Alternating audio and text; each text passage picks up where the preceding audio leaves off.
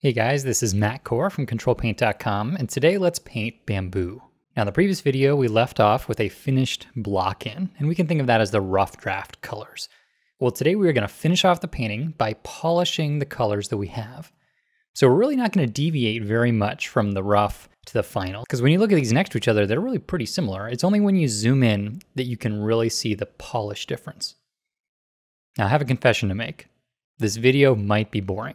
Now it's only boring because what we're doing is one thing over and over and over. So here I actually have an out of context example. I've taken a single leaf and I'm gonna show you how to do the process on one leaf, and then we'll go into the final illustration.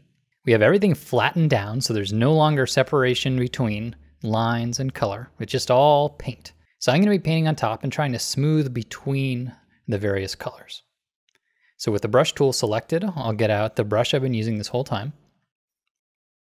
And what I'm going to be using the most of is on-screen mixing. And I do that with the Alt key.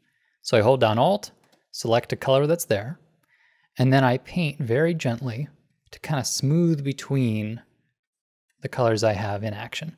I'm clicking Alt, painting with that new color, clicking Alt again, painting with that new color, and I'm working very gently to kind of smooth these transitions between different colors.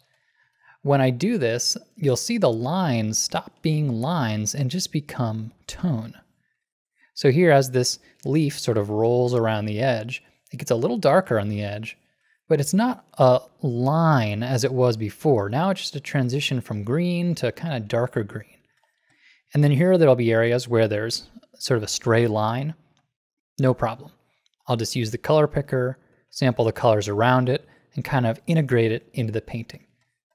So I'm using very light pressure with my hand and I'm just sort of slowly pushing colors back and forth. Just sample a color, paint it down. Sample a new color, paint it down. So I'm really not deviating very much from the block in. All I'm doing is kind of smoothing out, cleaning up, and averaging these colors.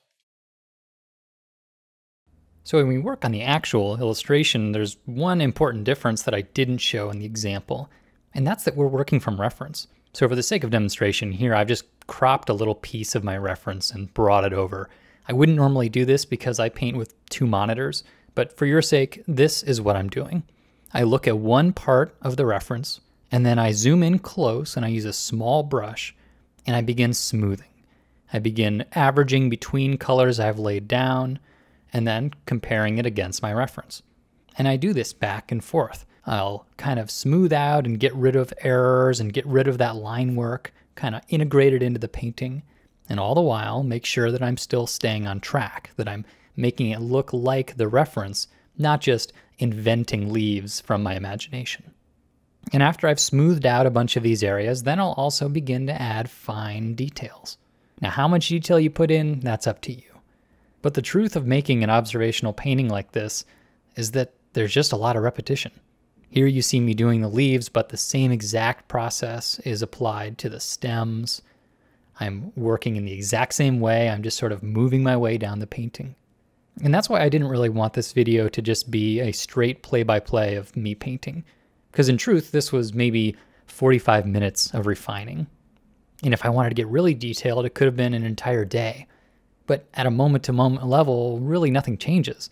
I'm using the eyedropper tool with the Alt key and painting colors. That's it.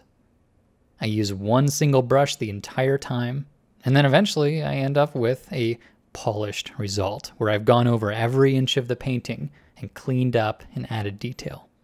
Now the reason all this works so smoothly is because I already established all the big questions in my rough which then just allowed me to zoom in and confidently make small changes with a small brush because I knew all the big questions were already answered.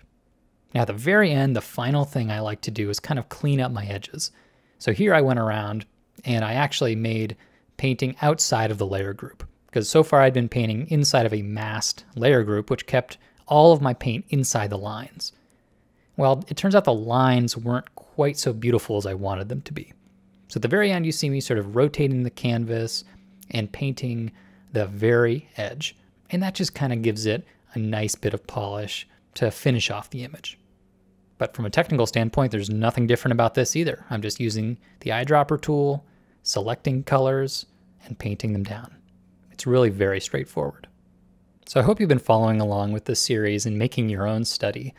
But this is going to test your patience. But you just have to stick with it. And the longer you practice this, the better your results are going to be. And the polish is really what makes that image shine. So get out your brush tool and go to work. Have fun. Thanks for coming to the site, guys.